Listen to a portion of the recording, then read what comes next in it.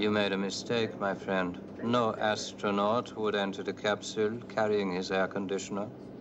Remove his helmet.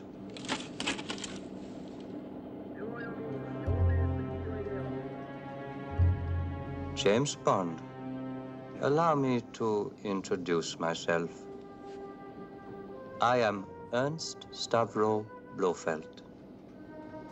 They told me you were assassinated in Hong Kong. Yes, this is my second life. You only live twice, Mr. Bond.